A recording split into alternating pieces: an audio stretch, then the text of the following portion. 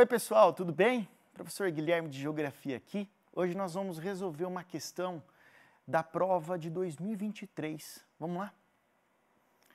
Texto 1, texto 2, né? Você vê que as provas do Enem sempre traz, sempre trazem, né, questões é, que inicialmente tratam com textos, mapas, gráficos. Aqui está uma clássica questão do, do Enem.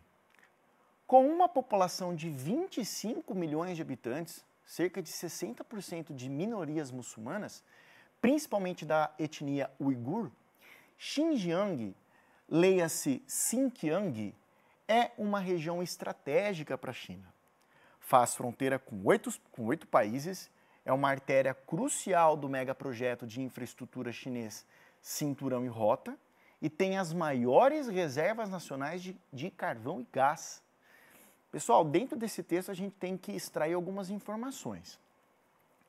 Quando a gente fala do carvão, nós estamos falando da fonte de energia predominante da China, certo?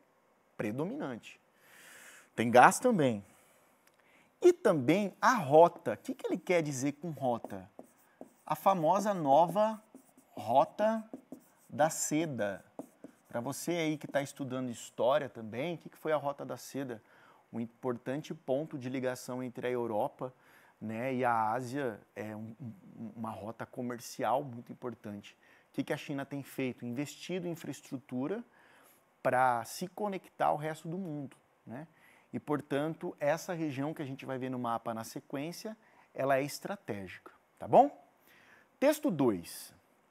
Dentre as províncias da região oeste, Xinjiang ou Xinjiang se destaca ao receber mais de 1,7 milhão de imigrantes entre 2000 e 2010. O principal motivo desse fluxo migratório é que o governo fornece subsídios, ou seja, apoio à população, visando aumentar a proporção de chineses da etnia Han em relação à população local de etnias turcas e muçulmanas. Tá? A política demográfica para a província mencionada no texto é parte da seguinte ação estratégica do governo chinês. Vamos ver aqui um pouquinho do mapa para a gente poder entender. Quando a gente divide, é, quando a gente estuda, aliás, a China, a gente precisa dividi-la em quatro pedaços, tá? Quatro partes. Essas duas porções, né? Portanto, a leste da China que é banhada né, pelo oceano aqui, o que, que acontece? Você tem a região da Manchúria, onde inclusive nós temos a capital Pequim, né? E depois a gente tem a região das planícies, pessoal. Tá? É uma região densamente povoada. Você vê aqui na legenda do nosso mapa que nós temos uma concentração populacional, logo uma concentração de indústrias, é uma região muito desenvolvida, é a China que a gente vê na TV. Né? É aquela China que consome concreto, é aquela China que produz todo tipo de produto, inclusive de alta tecnologia. Tá? Agora, nós temos em direção ao oeste o interior da, da, da China, que ele é menos ocupado. A região do, do Tibete, né, marcado aqui por é, cadeias montanhosas, e a região do Xinjiang, ou Xinjiang, como a gente viu no texto. É aqui que a gente precisa discutir, porque o texto, ambos, ambos textos estão discutindo uh, a região do Xinjiang, tá?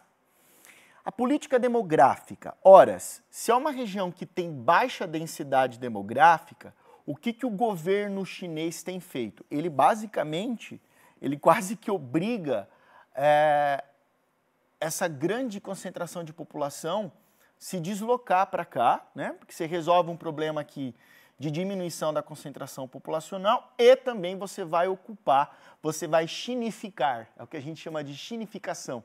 Ou seja, a, a cultura chinesa de fato, precisa estar presente nesses vazios demográficos, muito é, ocupado por etnias diferentes, como turcas e muçulmanas, não é? Então, é uma forçadamente você vai pressionar né, esses grupos minoritários, perseguição mesmo, né? Você tem o povo uiguri, povo uiguri, cara, esse pessoal sofre uma pressão tremenda da, é, da, do governo chinês, tá? Então vamos analisar depois de discutir aí com o nosso mapa, vamos ver o que mais leva a, a, a gente conectar os textos ao mapa e à nossa alternativa.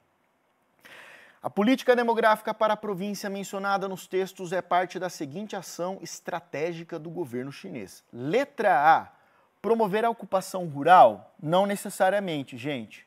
Eles querem infraestrutura, né? Tem a nova Rota da Seda, não é necessariamente isso. Não que não haja, tá? A produção agrícola ali, mas é mecanização, tudo num contexto é, é, agroindustrial. Letra B, favorecer a liberdade religiosa. Pelo contrário, há uma perseguição, um desejo de chinificar aquela região. Letra C, descentralizar a gestão pública. Não, é tudo centralizado.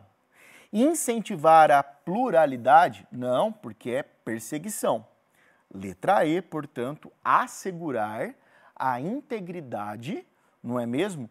A integridade, integridade territorial daquilo que a gente chama, né, como China, né? Todo esse contexto é, desse gigante que logo logo deve tomar, né, o primeiro lugar é, em termos de PIB, de economia, de liderança. Tudo bem? Uma questão muito importante aqui que você deve analisar com calma. Valeu? Até a próxima, gente!